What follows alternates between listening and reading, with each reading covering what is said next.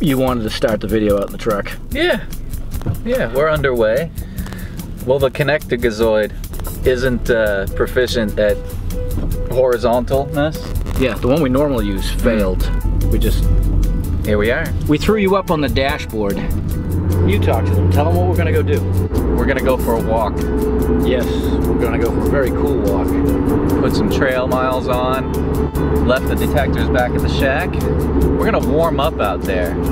It's chilly today, we need to move. All right, so we got a few minute drive and we will catch up with you when we land. Yes, we will.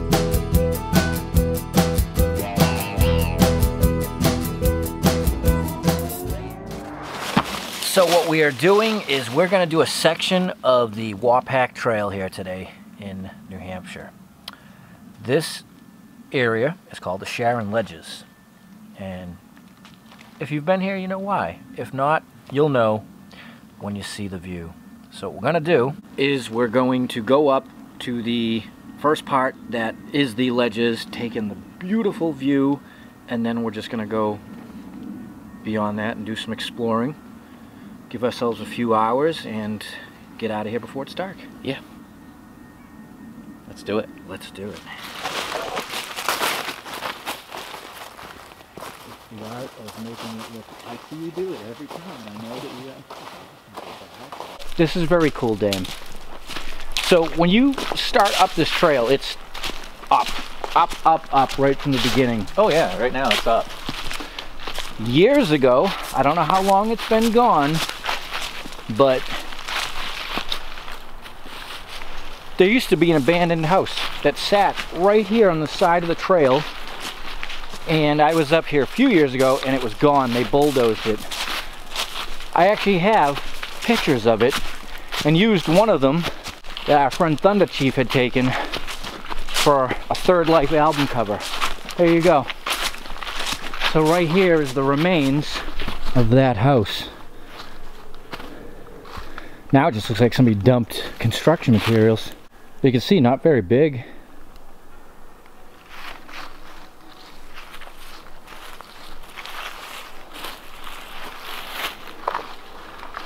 Small footprint too, huh? Yeah, it is.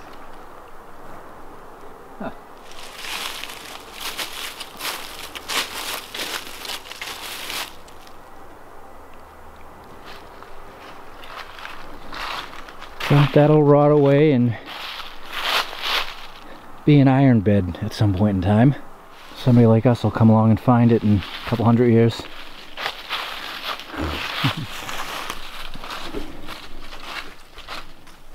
like 90% of the leaves are gone, huh? Nothing left.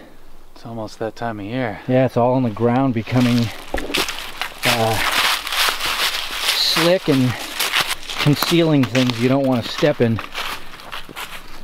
Beautiful.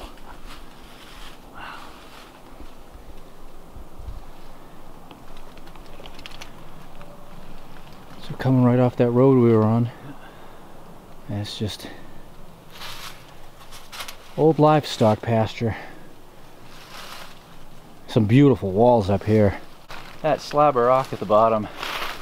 Oh yeah, huh? You know, think of had to get the oxen out, chain it up, drag it and drag it.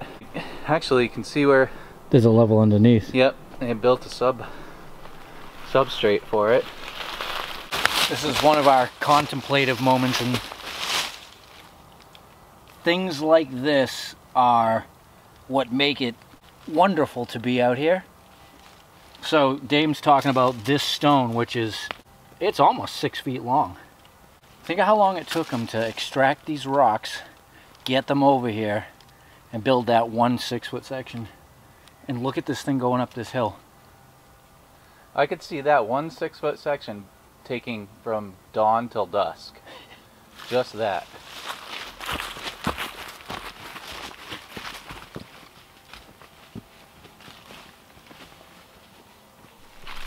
If any of you are new to the channel, what we do, we're relic hunters, we're historians.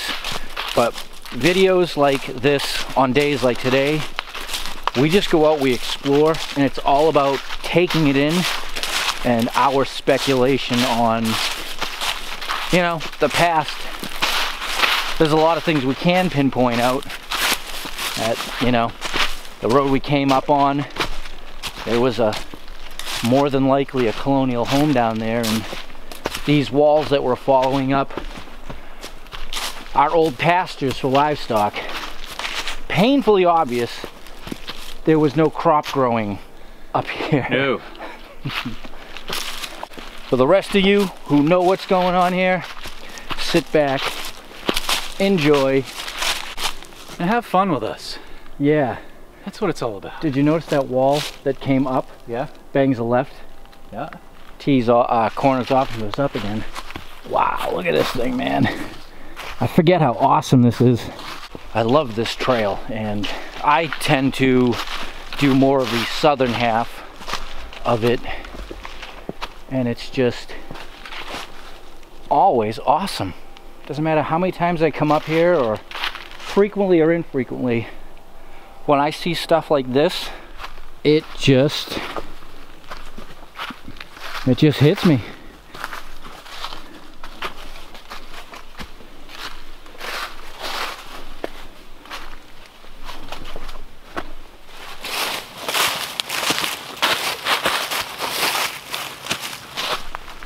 Yeah, we're getting somewhere.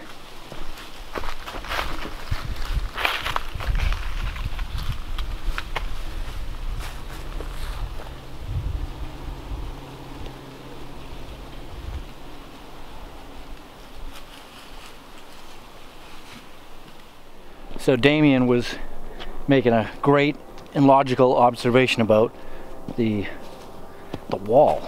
And they're not necessarily up here, they're not field stones dug out like the lower wall. Right, they'd dig in a field and if it was in their way, they'd move it to the wall. There's no digging up here. But just past this slide, all down there, you can see what we would call cart paths going to different cutout pits. So it's my supposition that they're pry bar quarrying all through here and using that flat stock to run the wall because it's all coming out in these flat sheets. Very stackable. Yeah. Very little round rock in those walls. If you just take a moment when your places and let your mind wander and clear it without any preconceived notions, it just comes alive and you can see it. Its own language. All right. Next up is the first outlook.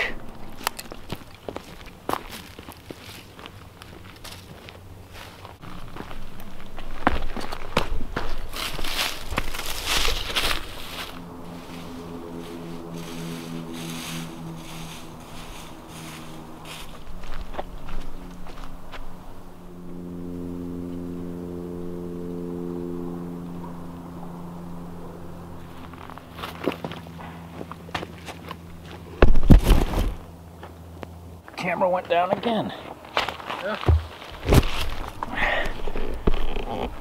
How long ago did we lose you? He missed all the good stuff. Sorry about that. Did you see it? Oh my god! Oh yeah, there was a UFO going across the sky and we saw Sam Squanch chasing after it. The damn thing stopped right there, mooned us, and then flipped out. All right, onward then.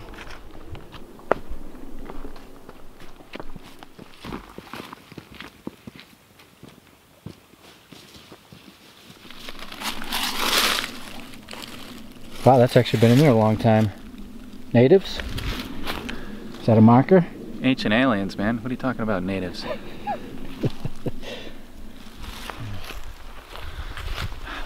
This is the spot that I remembered.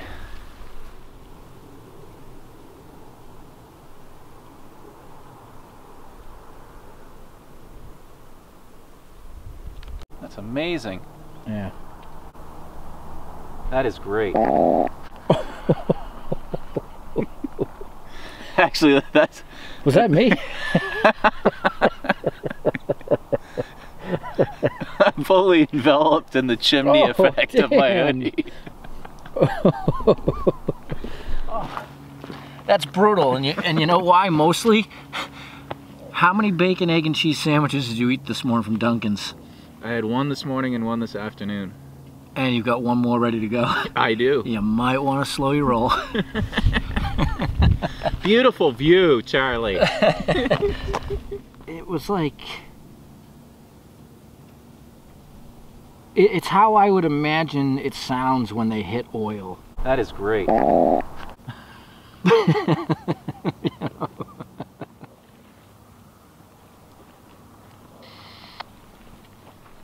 leaving leaving the outlook and we're gonna go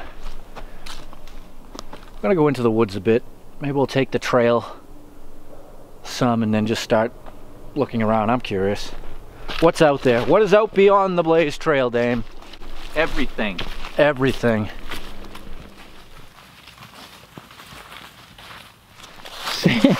what?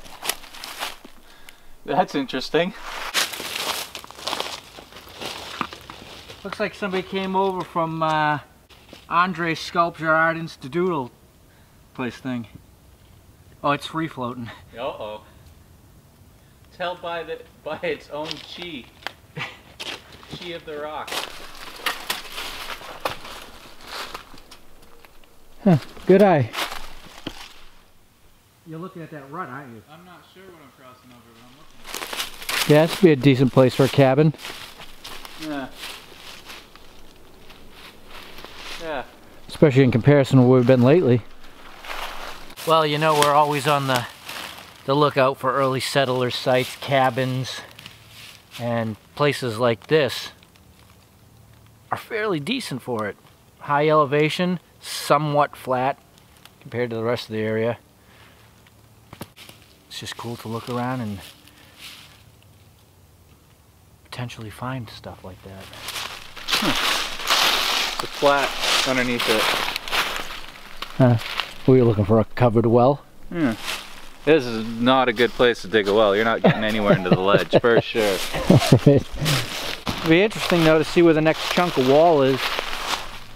Yeah. I haven't been up that way in so long that I can't remember. I do know that there's a big, big wall way out there, but it's been so long I don't know how far away it is. Well, we didn't even realize what time it was, and I said to Dame, holy mackerel, it is, it's getting close to the end. We're up in the flight path right now. And uh, not only are we not paying attention to time, I keep forgetting it's November. So that it gets it gets dark so early. As soon as that sun goes down, which is in about 10 minutes, it's gonna get very cold. We're almost at the peak of this section of trail, but we're not going to go on any further because we just don't want to. At some point, we are going to do some night hikes. That'll make for some great adventures, but for today, that wasn't the plan. And to be cautious, we just won't. So, we are going to hit the trail, and we're going to see you soon. So, hope you all enjoyed it. Until next time, enjoy your not Thursday.